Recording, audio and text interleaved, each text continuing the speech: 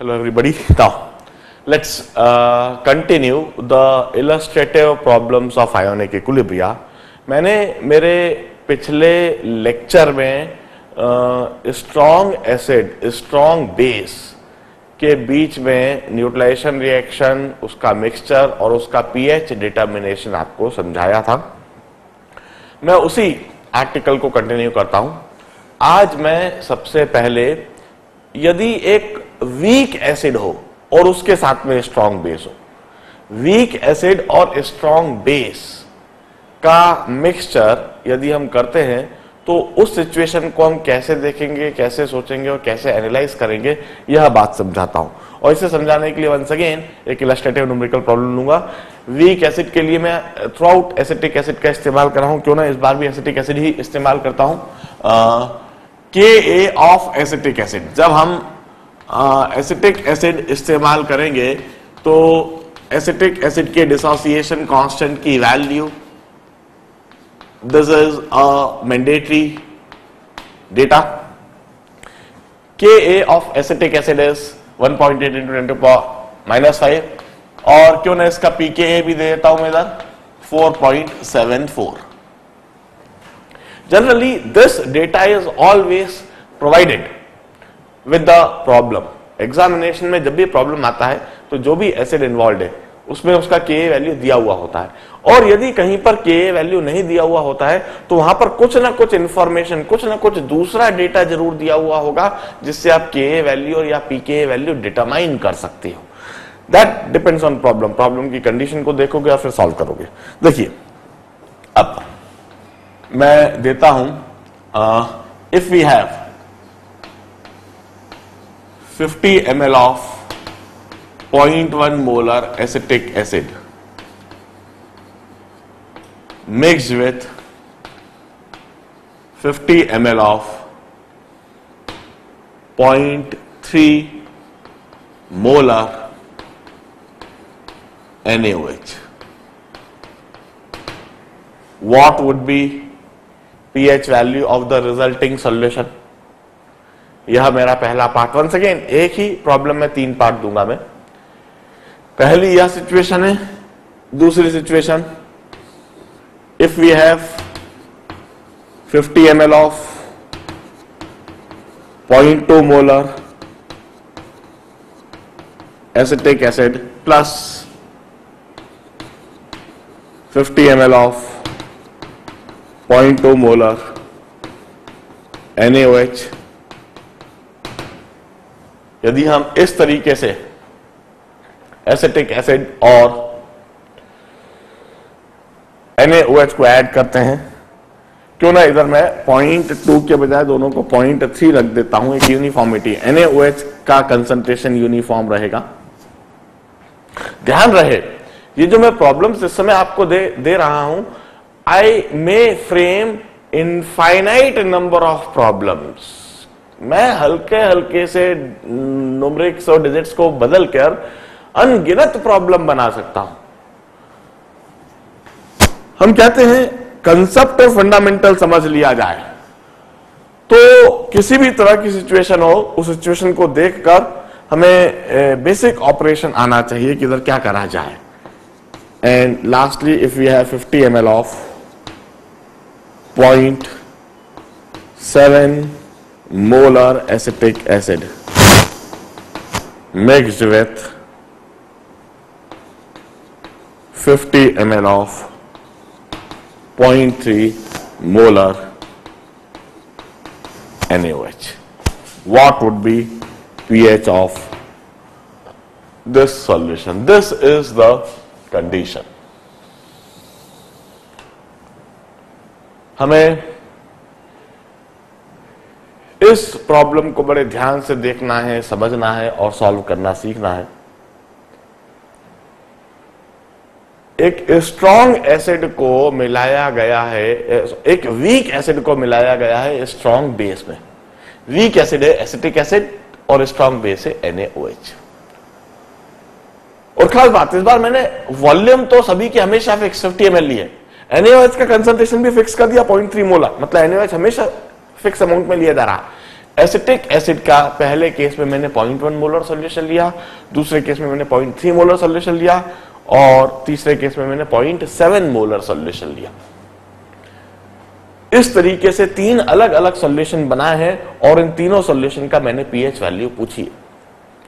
अब इस प्रॉब्लम को कैसे सोचा जाए? सबसे पहली बात, जब भी दो रिएजेंट को मिलाते हैं तो सबसे पहले यह सोचना है कि कहीं इनमें कोई रिएक्शन तो नहीं है।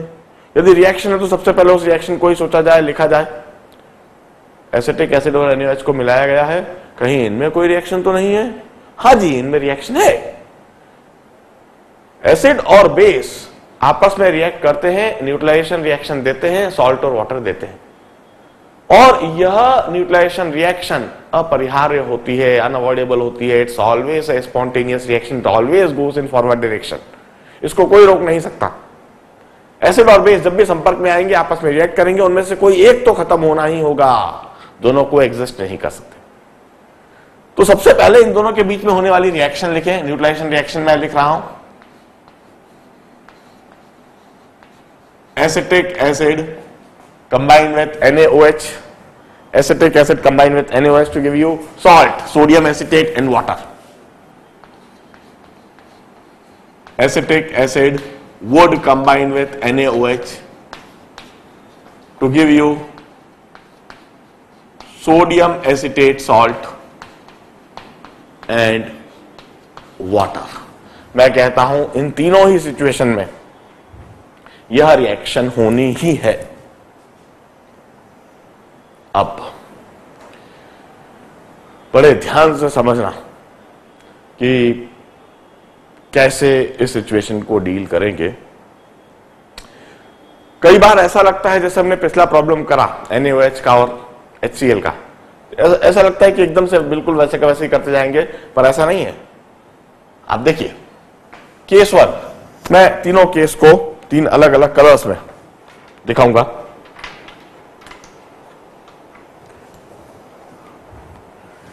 Situation one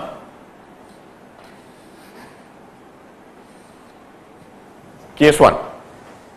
हम केस वन में पहले यह देखेंगे, एसिटिक एसिड के कितने मोल लिए गए हैं एनएच के कितने मोल लिए गए हैं।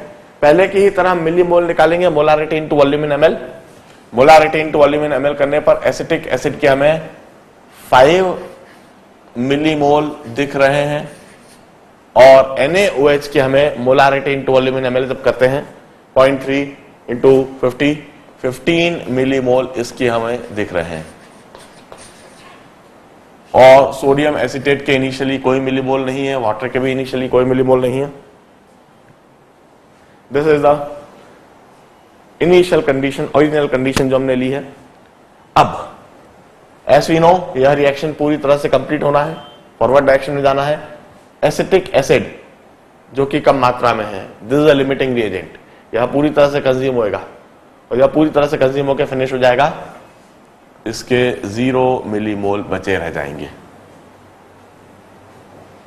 और खास बात 5 millimole of acetic acid would combined with 5 millimole of NaOH it would consume 5 millimole of NaOH तो 15 मिलीमोल में से 5 मिलीमोल कंज्यूम हो गए, बचे कितने? 10 मिलीमोल जो बचे रह जाते हैं, वो हमें लिखना चाहिए। 10 मिलीमोल NaOH के बचे रह गए, और 5 मिलीमोल सोडियम एसिटेट के बन गए। वाटर लिखने की कोई आवश्यकता नहीं। This is the situation this is the condition अब, इसे सोचने के बाद अब हम सोचेंगे कि कैसे पीएच या पीओएच सोचा जाए, कैसे लिखा जाए। हम कहते हैं, अब रिएक्शन के बाद जो सिचुएशन बनी हुई दिखाई दे रही है, उसको देखें आप। एसिटिक एसिड तो है नहीं। अब क्या क्या है वहाँ? एनएच और सोडियम एसिटेट एनएच और सोडियम एसिटेट एनएच एक स्ट्रॉन्ग बेस वहाँ पर बचा हुआ दिख रहा है 10 मिलीमोल और यदि कहीं पर स्ट्रॉन्ग बेस एनएच दिख रहा है तो भूल जाइए बाकी सभी रिएजेंट को, कौन है, कौन नहीं है, कोई मतलब नहीं। वहाँ पर स्ट्रॉन्ग बेस दिख रहा है ना।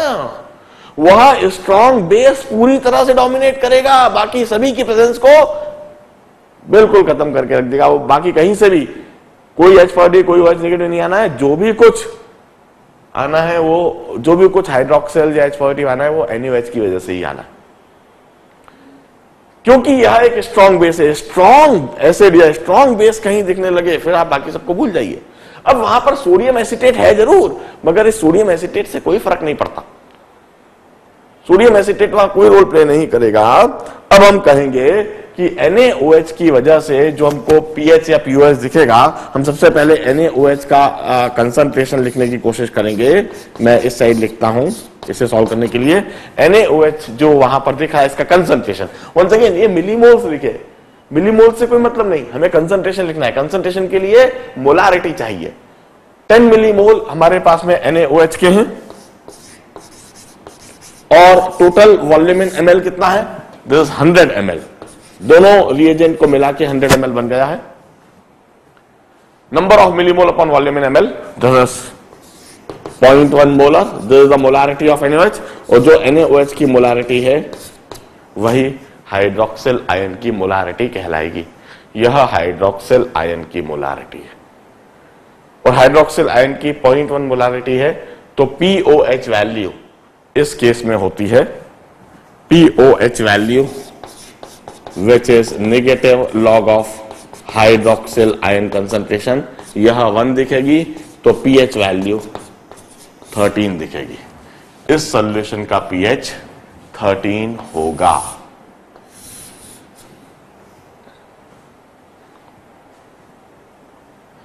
स्ट्रॉन्ग बेस एनएच बचा हुआ है, इसलिए पीएच 13 है। सॉल्व करने का तरीका बड़ा साधारण, यहाँ तक कोई दिक्कत, कोई समस्या नहीं दिखी। अब हम इसी प्रॉब्लम का सेकेंड पार्ट करते हैं।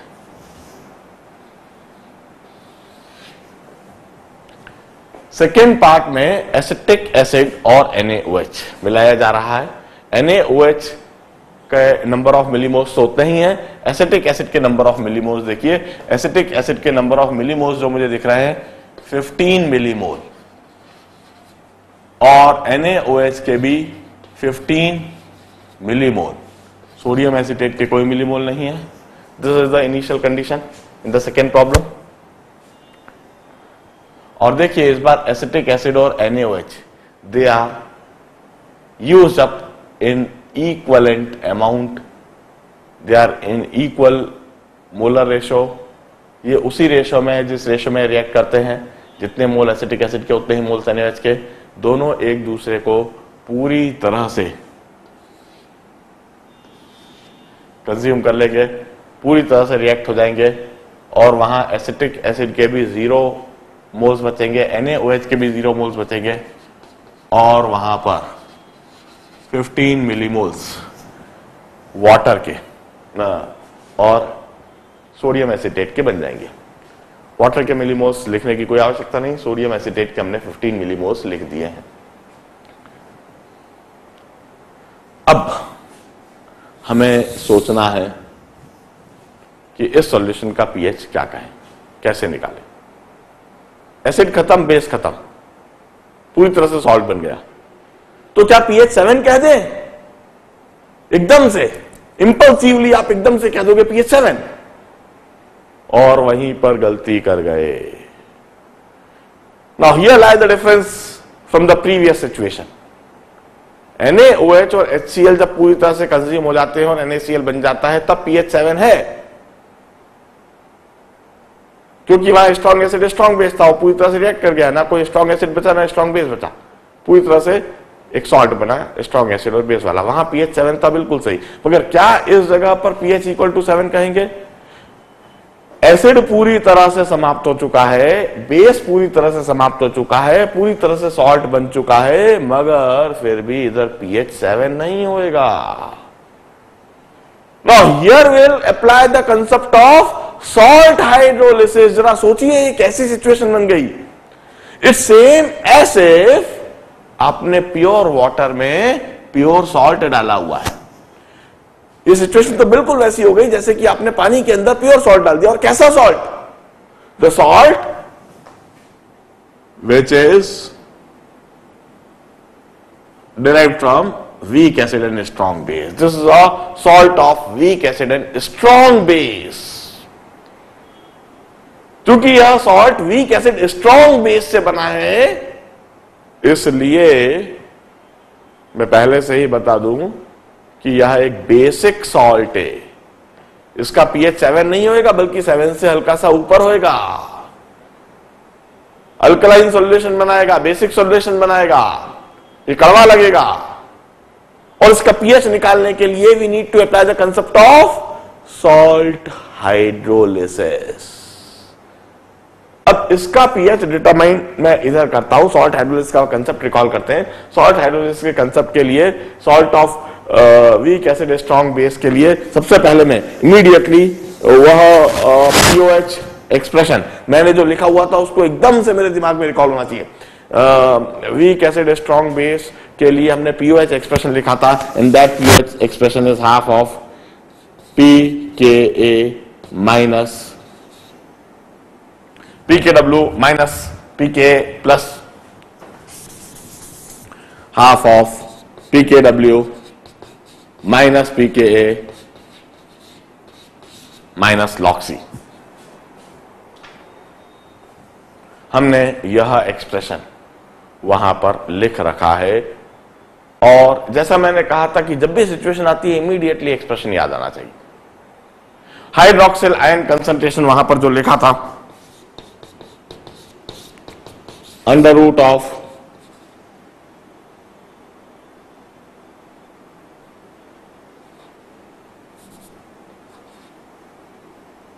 के W upon K a into C this hydroxyl ion concentration this is equal to under root of K h into C इस तरीके से हमने वहाँ पर एक्सप्रेशन लिखा था।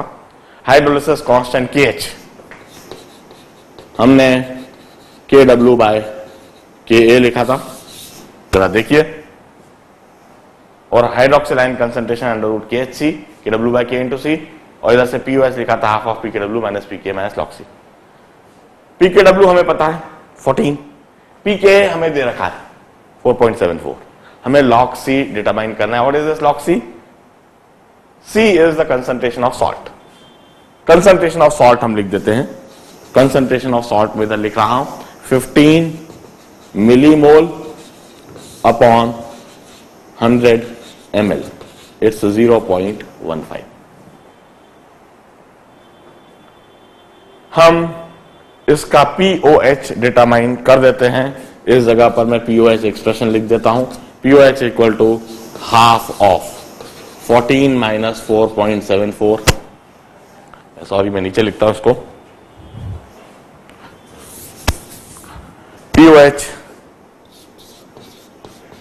is equal to half of 14 minus p K a की जगह 4.74 माइनस लॉग ऑफ़ 0.15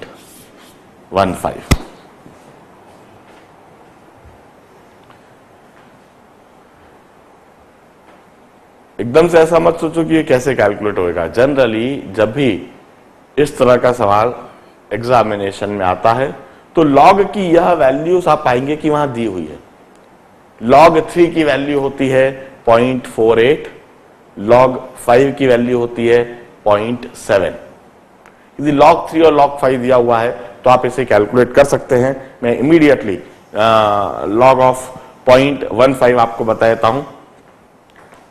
मैं क्यों ना इसे कैलकुलेट इधर करके दिखाता हूँ। और फिर इधर सब्सिट्यूट कर दूँगा। I can write this like this log of three into five into ten to the power minus two and this may be written as log 3 is 0.48 log 5 is 0.7 and log of 10 to the power minus 2 is minus 2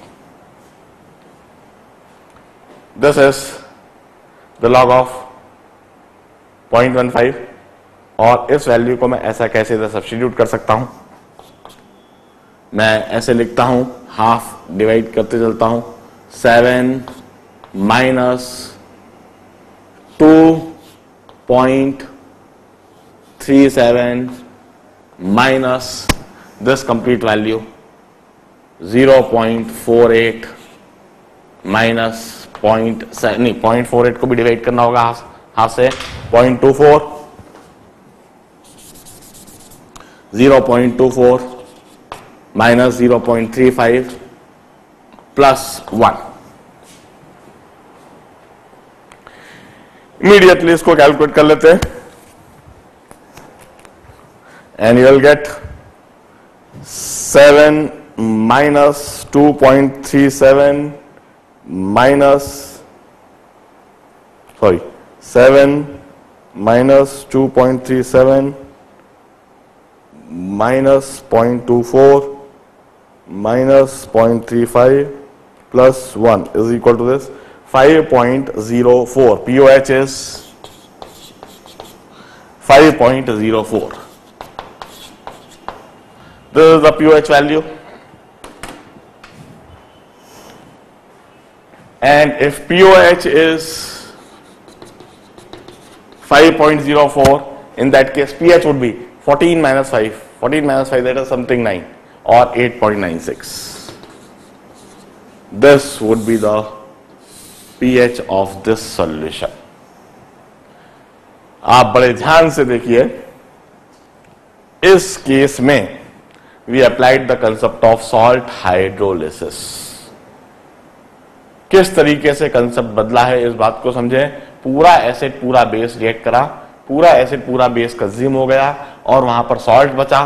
फिर हमने उस salt के nature को सोचा कि ये salt कोई strong acid strong base वाला नहीं है। यह सॉल्ट है वीक एसिड स्ट्रॉन्ग बेस वाला। तो एक बेसिक सॉल्ट हुआ। बेसिक सॉल्ट हुआ, इसका मतलब ये बेसिक सॉल्यूशन बनाएगा। ये कड़वा होगा। इसका पीएच सेवन से ज़्यादा होगा यदि ऑब्जेक्टिव के रूप में आता और मुझको चार ऑप्शंस दिए हुए होते अलग अलग रेंज में तो मैं कई बार बिना कैलकुलेट करे उस ऑप्शन को मार्क कर देता जो सेवन से ऊपर है और हल्का सा ऊपर है। बहुत ज़्यादा ऊपर, दस, ग्यारह, बारह के रेंज में जाके मार्क नहीं करूँगा। आठ, नौ, सात, आठ, नौ के बीच में जो वैल्यू दिख रही है, मैं उसको मार्क करूँगा। ग्यारह, बारह, तेरह पीएच नहीं हो सकता, क्योंकि ग्यारह, बारह, तेरह पीएच होना मतलब स्ट्रांग बेसिक होना। और ये कोई स्ट्रांग बेसिक भी नहीं है एक माइल्डली वीकली बेसिक सोल्यूशन बनाएगा। और यदि ऑप्शंस बहुत क्लोज दिए हुए होते, दो या तीन ऑप्शंस बिल्कुल इसी तरह से दिए होते सेवन एट और नाइन के रेंज में इन दैट केस मुझको प्रिसाइज कैलकुलेशन यह करना पड़ता। बिल्कुल प्रिसाइज यह इक्वेशंस लगानी पड़ती। मुझे यह सारी चीज़ रटी हुई होनी चाहिए पीओएच के लिए यह एक्सप्रेशन हाइड्रोक्सिल के लिए एक्सप्रेशन ऑल मुझको इधर लगाने की आवश्यकता नहीं पड़ी, पर जैसे ही प्रॉब्लम आता है, जैसे सिचुएशन आती है, मेरे दिमाग में एकदम से सारे फॉर्मूले तैर जाते। हैं और फिर मैं अप्लाई करने लगता हूँ। वन सेकेंड इधर एक बात देखें। बेसिक लॉग के एप्लीकेशन ऑपरेशंस वो आना अनिवार्य है। जब मुझे log of point one five calculate करने के लिए आया तो ऐसा नहीं है कि एग्जामिनेशन में exactly log point one five दिया हुआ होगा। वहाँ पर लॉग थ्री और लॉग फाइव की वैल्यू दी हुई है। और लॉग थ्री और लॉग फाइव की वैल्यू से आपको लॉग पॉइंट वन फाइव की वैल्यू सोच लेनी है। और वो मैंने सोचने का तरीका बताया कि लॉग पॉइंट वन फाइव को मैं ऐसा लिख दूँगा three into five into ten to power minus two ये हो गया log three plus log five plus log of ten to power minus two log three की जो वैल्यू दी हुई है, वहाँ मैंने सब्सिट्यूट कर दी लॉग फाइव की वैल्यू सब्सिट्यूट कर दी और log of ten to power minus two की वैल्यू मुझको पता है। और इस तरह से लॉग पॉइंट वन फाइव मैंने इधर सब्सिट्यूट कर दिया और इधर इसको मैंने कैलकुलेट कर दिया। There may be number of ways to calculate the expression बड़े ध्यान से इसे देखिए। अब मैं इसी प्रॉब्लम का तीसरा पार्ट समझाता हूँ कि तीसरी सिचुएशन को हम कैसे डील करेंगे। देखिए, तीसरी सिचुएशन में पहले कंडीशन लिखता हूँ इनिशियल कंडीशन और रिएक्शन के बाद क्या कंडीशन बनेगी, वहाँ पहले लिखता हूँ। एसिटिक एसिड के कितने मिलीमोल है इस बार देखिए? Molarity into volume in ML point seven into fifty thirty five millimole acetic acid के हैं? एनएओएच के fifteen to point three fifteen millimole हमारे पास में एनएओएच के। और इनिशियली सोडियम एसिटेट के कोई मिलीमोल नहीं वाटर से कोई मतलब नहीं। This is the initial condition यह इनिशियल कंडीशन है। अब रिएक्शन होगी एसिटिक एसिड में। और रिएक्शन होगी एनएच में। एसिडिक एसिड में और एनएच में न्यूट्रलाइजेशन रिएक्शन होनी है। और इनमें से पूरी तरह से कोई कंज्यूम होएगा, खत्म होएगा। इस बार लिमिटिंग रिएजेंट एनएच है। पहली सिचुएशन में लिमिटिंग रिएजेंट एसिडिक एसिड था। दूसरे केस में दोनों ही लिमिटिंग थे, दोनों ही कंज्यूम होगा तीसरे केस में एनएच कम है। एनएच लिमिटिंग रिएजेंट है। पूरी तरह से यूज़ हो जाएगा, पूरी तरह से कंज्यूम हो जाएगा। और वहाँ एनएच के कोई मिलीमोल बाकी नहीं रह जाएँगे। खत्म हो जाएँगे। 15 millimole NH 15 millimole acetic acid के साथ में रिएक्ट करके वहाँ पर एसिटिक एसिड के जो बचे रह जाएँगे। 20 मिलीमोल और 15 मिलीमोल वहाँ पर सोडियम एसिटेट के बन जाएँगे। This would be the final situation reaction के बाद। रिएक्शन के बाद अब यह जो सिचुएशन बनी है, इससे हमें सोचना है कि पीएच कैसे डिटरमाइन करें। इस बार वीक एसिड बची हुई है। क्या हम डिसोसिएशन ऑफ़ वीक एसिड का कंसेप्ट लगा दे? क्या हम डिसोसिएशन ऑफ़ वीक एसिड के लिए जो हमने ओस्टवाल्ड डाइल्यूशन लॉ जो सबसे पहले सीखा था, क्या वो लगा दे सीधा सीधा कभी नहीं। यहीं पर गलती हो जाती। ध्यान रहे ओस्टवाल्ड डाइल्यूशन लॉ। जरा पेजेस टर्न कीजिए, नोट्स देखिए। ओस्टवाल डाइल्यूशन लॉ हमने कब बताया है? ओस्टवाल डाइल्यूशन लॉ सिर्फ़ तब लगाया जाता है, जब कोई वीक एसिड या कोई एसिड प्योर वाटर में हो। वाटर के अंदर सिर्फ़ वह एसिड पड़ी हुई हो। तो आप ओस्टवाल डिसोसिएशन या डाइल्यूशन लॉ लगाते हो। मगर क्या इधर पानी के अंदर सिर्फ़ एसिटिक एसिड है? नहीं। इधर कोई और भी मौजूद है। वी स्ट्रॉन्ग एसिड या स्ट्रॉन्ग बेस हो तो आप बाकी सबकी मौजूदगी भूल जाओ, कोई समस्या नहीं। क्योंकि स्ट्रांग एसिड स्ट्रांग बेस हर जगह डोमिनेट कर जाते मगर इधर वीक एसिड है। यदि कहीं पर वीक एसिड दिख रहा है तो आपको दूसरा इलेक्ट्रोलाइट उसकी प्रेजेंस को भी देखना होगा उसके इफ़ेक्ट को भी देखना होगा आप जरा देखिए, इस बार एसिटिक एसिड के साथ में कौन मौजूद है? सोडियम एसिटेट सॉल्ट और उसके 15 मिलीमोल जरा रिकॉल करो, ये सिचुएशन क्या है? It's a mixture of weak acid and a strong basic salt of weak acid recall करो this is in fact a buffer solution इस जगह पर बफर सॉल्यूशन का कंसेप्ट लगेगा हेंडरसन इक्वेशन लगेगी। इस जगह पर पीएच डिटरमाइन करने के लिए आपको जो मैंने लास्ट आर्टिकल बफर सोल्यूशन समझाया है हेंडरसन इक्वेशन समझाइए, वो अप्लाई करना पड़ेगा। इस जगह पर जनरली पाया यह गलती हो जाती है कि सभी लोग एकदम तेज़ी से वीक एसिड को देखकर एसिड का डिसोसिएशन का कंसेप्ट लगाने लगते हैं और उस डिसोसिएशन लॉ डाइल्यूशन लॉ लगा देते हैं final under root of K by C p H equal to half of p K minus log C एकदम से लगा देते हैं और गलत हो जाता है। इस जगह पर यह सोचना ज़रूरी है वीक एसिड के साथ strong basic salt of weak acid now this buffer solution अब मैं तीसरे केस के लिए इधर सॉल्व करूँगा. This is a buffer solution और इसमें हेंडरसन इक्वेशन अप्लाई करूँगा और वह हेंडरसन इक्वेशन कहती है p H equal to p K a minus log of salt upon acid volume से कोई मतलब नहीं। Salt upon acid 15 by 20 3 by 4 pH is equal to pK a that is 4.74 minus log of 15 by 20 3 by 4 4.74 minus log of three by four log three है point four eight और log 4 है two times log 2 that is 0.6 तो मैं इधर solve कर देता हूँ। इस जगह पर सॉल्यूशन दिखा देता हूँ p H is equal to 4.74 minus 0.48 plus 0.60 this becomes 0.12 4.74 plus 0.12 4.86 4.86 this is the pH value of this solution. बड़े ध्यान से देखिए। इस केस में सिचुएशन बदली और सिचुएशन के बदलने से अब यह एक बफर सॉल्यूशन बन गया। पिछले प्रॉब्लम को ज़रूर देखो। पिछले प्रॉब्लम में ना तो कोई शॉर्ट हाइड्रोलिस का कंसेप्ट लगा, ना कोई बफर सॉल्यूशन का कंसेप्ट लगा।